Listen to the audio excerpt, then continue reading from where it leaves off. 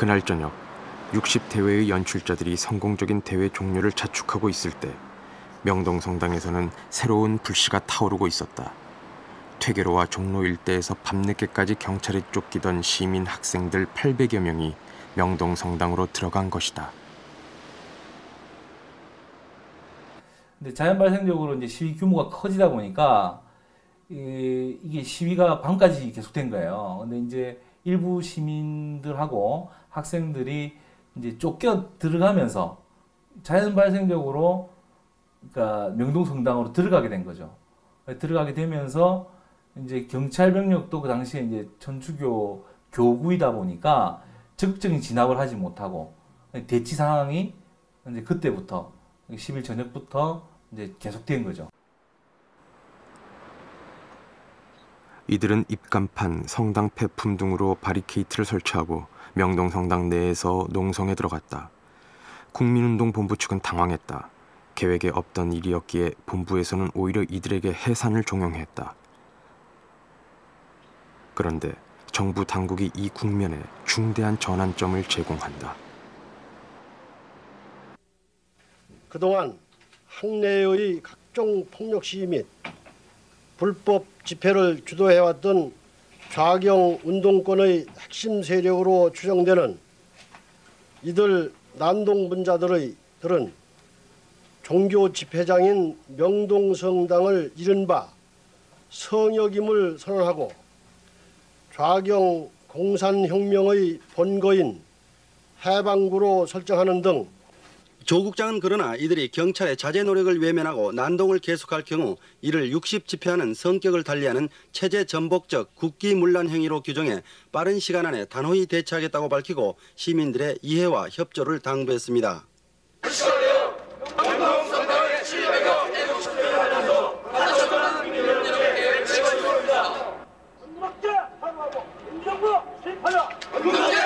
농성 학생들을 좌경 용궁으로 몰아가는 정부의 강경한 태도는 오히려 역효과를 일으켰다. 성당의 주인격인 서울교구청 신부들은 학생들의 민주화 투쟁을 적극 지지 동참하며 사제로서 이들을 끝까지 보호한다는 성명을 발표했다.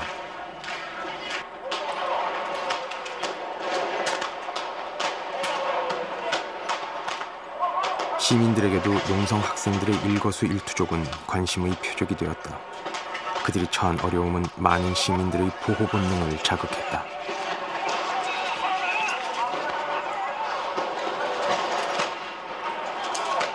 명동성당은 이제 6월 항쟁의 중심지가 되었다. 학생들은 매일같이 학교별로 출정식을 갖고 명동성당 부근으로 집결하여 지원 투쟁을 벌였다. 학생들뿐만 아니라 점심시간이면 부근의 직장인들도 명동성당 앞으로 몰려 나왔다.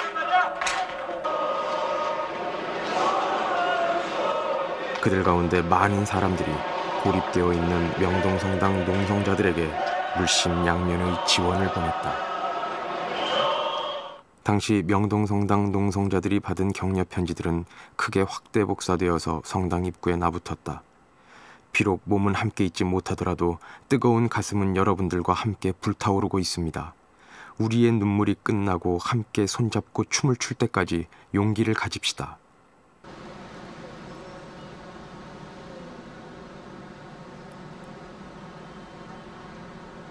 명동성당과 담 하나로 인접한 개성요고. 이 담장은 당시 명동성당 농성 학생들에게 물품을 전달하는 루트가 되기도 했다. 담장 넘어 전해진 물품들 속에도 격려의 편지가 따라 붙었다. 보내는 물건은 단순한 동정심이 아닙니다. 꼭 보고 싶은 언니 오빠들 원하는 것이 이루어질 때 웃으며 보고 싶습니다. 개성여고 동생들. 시대의 아픔과 고뇌를 함께 하는 것이 항상 여러분에게 못 미쳤던 평범한 셀러리맨 69명과 식당 주인 아저씨로부터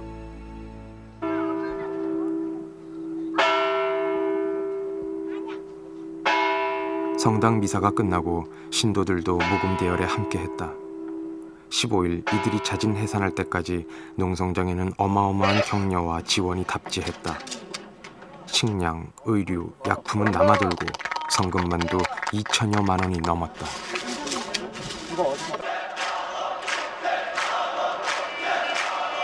시민들은 더 이상 시위 대열의 방관자가 아니었다. 점심때마다 인근 직장에서 대거 몰려나온 넥타이 부대들이 명동 거리를 가득 메웠고 그들이 외치는 구호가 거대한 파도를 이루었다.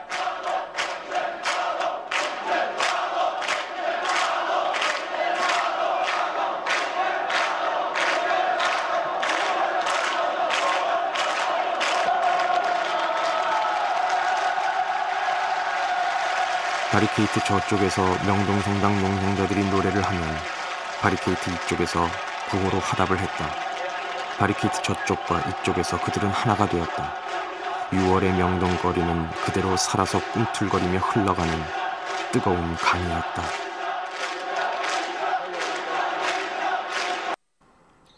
(6월 13일) 아침 전두환 대통령은 청와대에서 시국관계 책임자들을 수집 대책회의를 가졌다. 이때 고건 내무장관은 상황 보고에서 가장 심각한 문제로 시민들이 동조 가담하거나 고무하는 현상을 지적했다.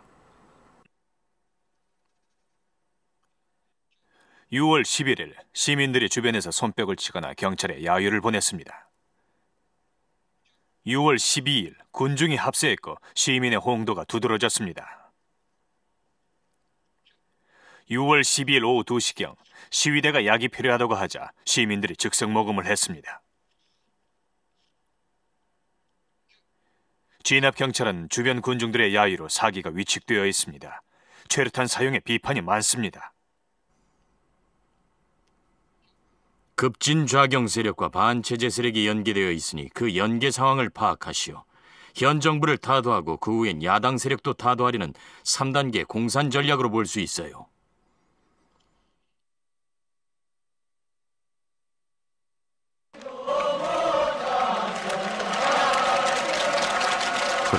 모든 혼란을 좌경으로 몰아붙이던 구태의 연한 관행은 이제 더 이상 먹혀들지 않았다.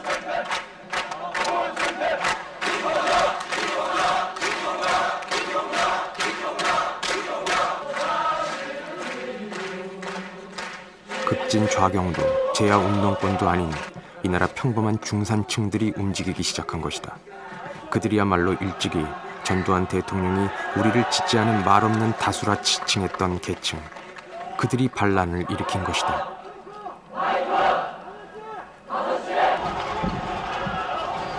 중산층의 이반을 가속화시킨 것은 최루탄이었다. 직격탄을 맞은 이한열이 의식불명인 채 병원에 누워있는 사이에도 경찰은 하루 2만 여 발이 넘는 최루탄을 쏴대고 있었다.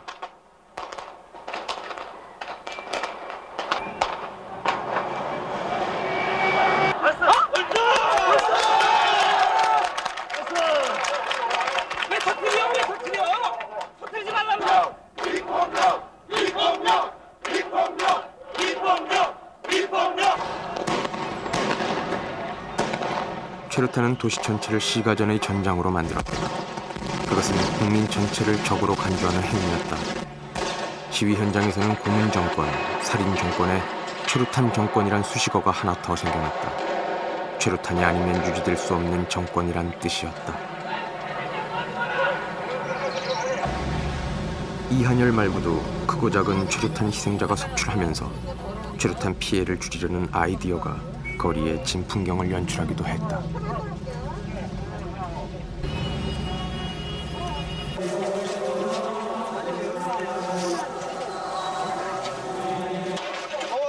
여성 단체들은 최루탄 추방 운동에 앞장섰다. 체류탄 소지 엄마들이 하는 거예요. 정경도 정경도 내 아들이고 어, 학생도 내 아들 딸인데 예, 체류탄 쏘지 말자는 이야기인데 왜 꽃도 못 받아요? 꽃 받으면 안 돼요? 받으세요. 자, 그냥 그냥 받으세요. 이거 받아 쏘면 최루탄 추방 운동은 전 국민의 호응을 받을 수밖에 없었다.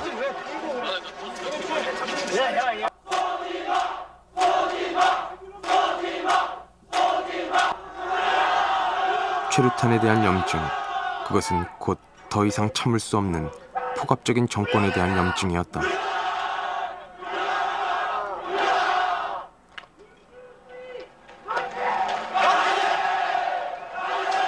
넥타이 부대는 이제 시위의 전면에 떠올랐다.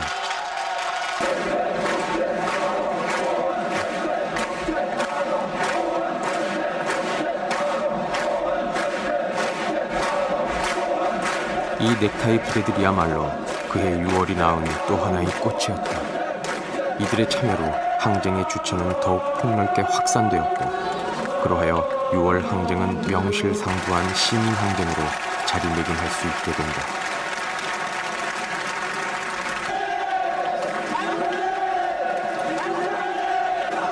시민들의 참여는 점점 늘어났다.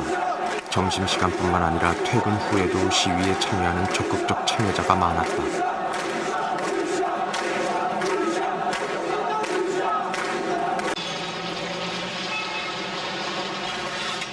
(6월 15일) 아침 명동성당 농성자들은 밤을 새운 토론과 3차에 걸친 투표 끝에 농성 해산을 결정했다.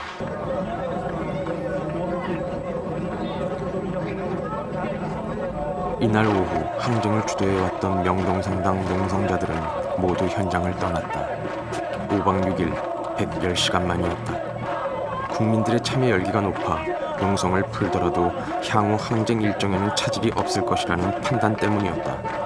그리고 그 판단은 옳았다.